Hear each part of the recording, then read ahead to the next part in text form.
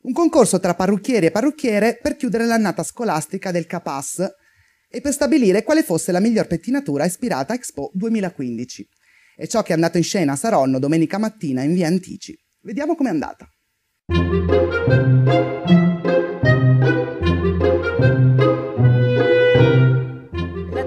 Taj Mahal e il Big Ben di Londra. Non è una gita turistica, ma un concorso per parrucchieri.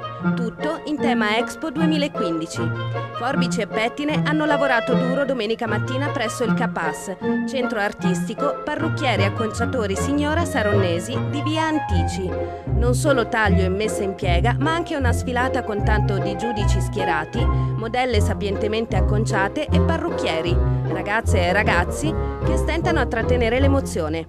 Anche il comune di Saronno ha timbrato il cartellino con l'intervento dell'assessore alla cultura Cecilia Cavaterra. Un concorso che ha visto protagonisti gli alunni del primo, secondo e terzo anno della scuola Capassa, appunto.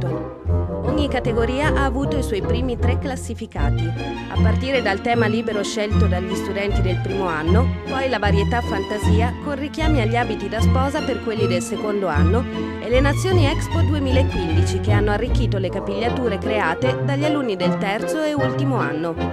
I fotografi ne hanno immortalato le opere e le premiazioni in attesa del concorso del prossimo anno.